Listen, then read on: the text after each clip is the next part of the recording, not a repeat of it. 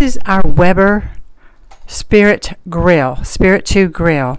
It has it's a high performance grill and we've had it for about a year now.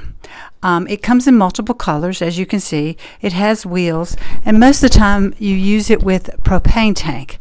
We have opted, as you can see over here, down here. You see that? So ours goes directly into our gas source. So that red knob down there, when we use our grill, is um, what we turn on for our gas source.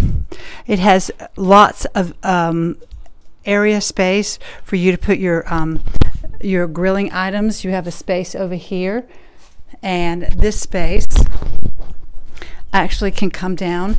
You have hooks on this side of it for your utensils that you can put there like this. They're made out of plastic. Hooks on this side. You can lock it into space on the bottom. That's what you use to clean the grill. You can hook them right here. You have hooking spaces for different things that you use.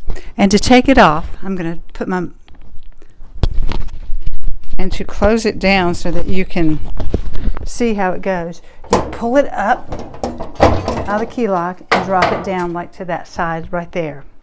On the front panel here, you have your ignition switch and you have your three burner lights. You have a gauge on the front of it that tells you what your temperature is right there. Right here is your gauge for your temperature. And of course you have, it's an enamel top and you have a nice bar. Here you have your grill and it has three, if we lift this up, it's very dirty. We have th underneath there three grill patterns, three light, three light pods that will light up. It has about five, a lot of BTUs, so you can do it. The, this side right here is stationary, it does not collapse. It has also two wheels on it that you can move it around very easily by picking it up and going like this and that.